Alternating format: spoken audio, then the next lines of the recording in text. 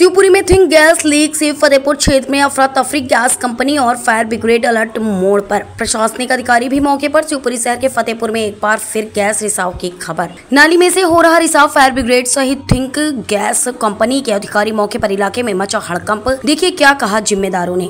नहीं तो वो चक्कर वाले ये चेक करो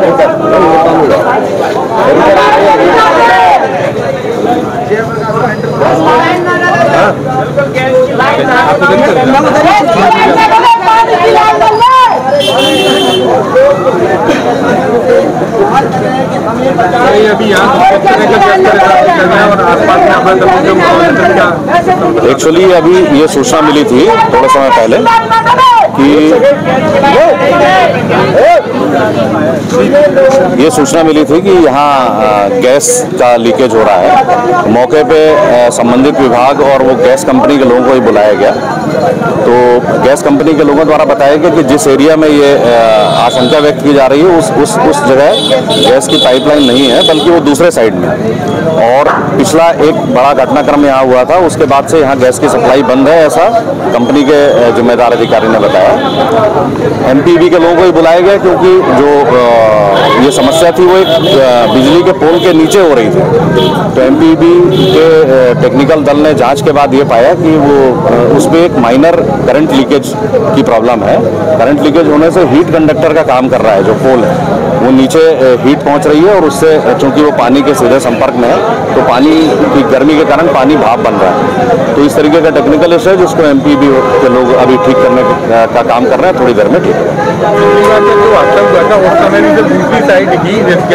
हुआ भी पिछली बार का, चूँकि मुझे बहुत आइडिया नहीं है, लेकिन इशू ये है कि पिछले बार ये करंट से इशू जोड़ा नहीं जा रहा था, इस बार सीधा इशू करंट का लगातार इस तरह के रिसाव के मामले सामने आते हैं। पहले भी तीन लोगों की मौत हो चुकी है और थिंक गैस वाले ज़िम्मेदारी लेने तैयार नहीं। क्या कुछ कहेंगी आप? भैया, मैं तो ये कहूँगी इनसे निवेदन करती हूँ मैं इनसे कि प्लांट को बंद कर दो बिल्कुल। मेरी शिवपुरी शहर को अभी गैस लाइन नहीं चाहिए, क्योंकि गर्मी का समय है जगह जगह मणि खेड़ा की लाइन डल रही है जगह जगह पाइप लाइनें खुद रही हैं, और कहीं भी गैस लाइन का हमको नहीं पता कि कहाँ इनने डाली है और कहाँ नहीं डाली। मेरे कर्मचारी जहाँ भी लाइन खोदते हैं, उनको नहीं पता कि गैस पाइप लाइन कहाँ डली है। अगर ऐसे में कहीं पाइपलाइन लीकेज हो जाती है और कोई बड़ा हादसा हो जाता है तो उसकी ज़िम्मेदारी कौन लेगा? इसलिए मैंने इनके बड़े इंजीनियर आए, गैस लाइन वाले। मैंने उनसे कह दिया प्लांट बंद कर दो। चार महीने गर्मी के कोई प्लांट नहीं चालू होगा। बिल्कुल टोटल गैस बंद कर दो।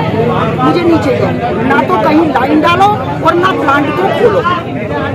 और इसमें मेरी पब्लिक भी साथ देगी और प्रशासन भी साथ देगी दीदी आज जो रिसाव हुआ था उसको किस तरह से देख रहा है प्रशासन?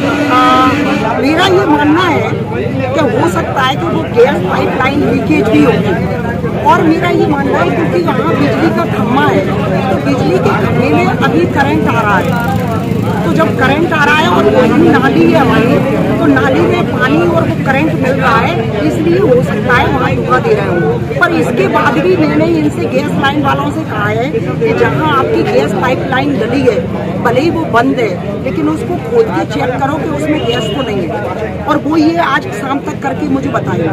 ठीक। ये जो प्रवक्ता है वो आपको देगा कंपनी के प्रतिनिधि नहीं हमें कंपनी का प्रतिनिधि नहीं हूँ आप आपके नंबर वगैरह दे दीजिए हम हमारे हमारे से मौजूद है यहाँ पे मुझे कंप्लेंट आई थी कि गैस लीकेज है लेकिन यहाँ पे गैस लीकेज नहीं है नहीं है ये तो पिछली बार भी कहा गया यही था जाँच रिपोर्ट कहाँ है पिछली बार की ये बताइए ना कलेक्टर साहब के पास तो कलेक्टर साहब के पास में अभी तक साहब। ऐसे कैसे कह सकते हैं सर ये ज़िंदगी का मामला है ये जिंदगियों का मामला है ये जिंदगियों का मामला है ये बाहर आ रहे हैं आप ये बाहर नहीं सकते हैं सर बाहर नहीं सकते आप ये आपको जवाब देना होगा आप जवाब दीजिए शहर की जवाब दीजिए आप बताइए पिछली बार भी आप मना करते रहे और तीन लोगों की जान चली गई कौन जिम्मेदार है उसके लिए आपके है। है? बाइट देना पड़ेगी आपको ज़िम्मेदारी उठानी पड़ेगी कौन उठाएगा ज़िम्मेदारी लोगों आज फिर घटना हो यही कोई आपने कह दिया हमारे इसके लिए जिम्मेदार नहीं है नंबर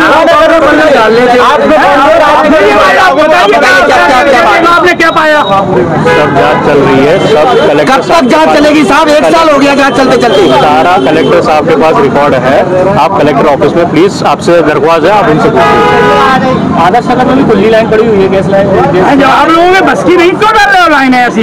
है लोगों की जान को मुसीबत में डाल रहे हो। हटा दो ना।